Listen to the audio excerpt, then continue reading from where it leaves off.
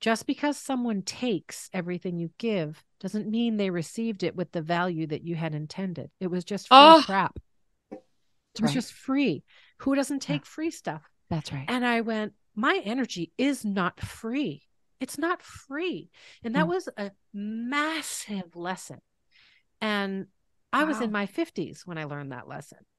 So the fact that you seem to have a grip on that lesson in your 20s is It's remarkable. remarkable and really, really powerful for you.